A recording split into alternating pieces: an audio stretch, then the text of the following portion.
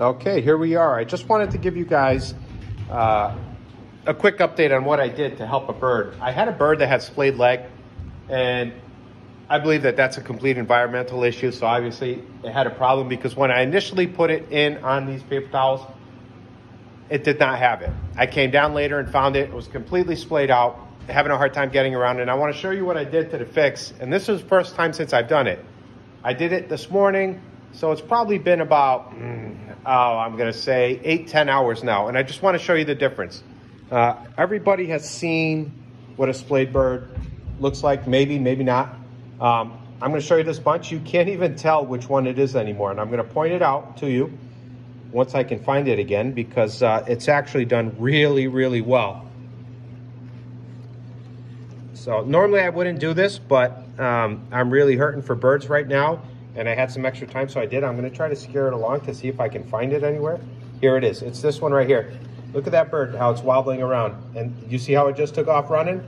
That bird right over there is the one with splayed legs, or had it this morning. And it's getting around just fine, eating.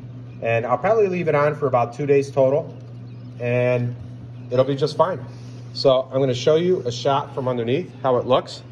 So I take two zip ties and I tie them together. I leave the zip ties loose. You can see it sitting just fine on my hand. I leave the two zip ties a little loose. Sorry, just trying to get this bird back. All right, you can see I've got a zip tie around each leg with about a half inch total piece of rope.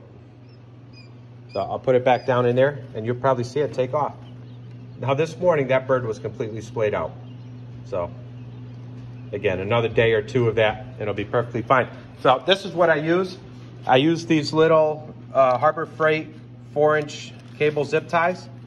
I get them looped up already, started. I'm not gonna do it because it's just gonna waste it. So do it so that your pinky is, make two of them so that you can get your pinky around it. Then take this lightweight cotton string and tie it together so you end up with about, only about a half inch in between your two zip ties. Then the next task is going to be trying to get it around the quail.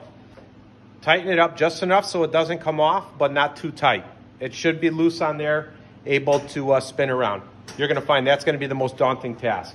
But I just wanted to show you it is possible to fix a splayed bird's uh, legs.